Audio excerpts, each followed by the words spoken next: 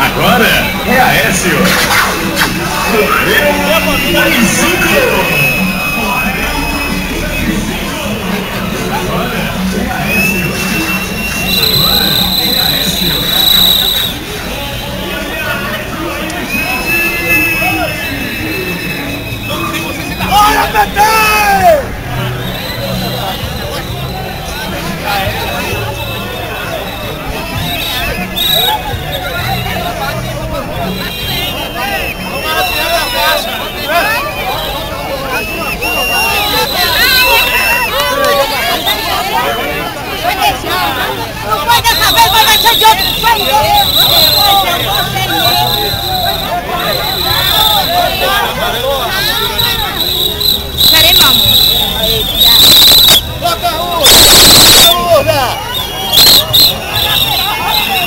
Peraí, mamãe.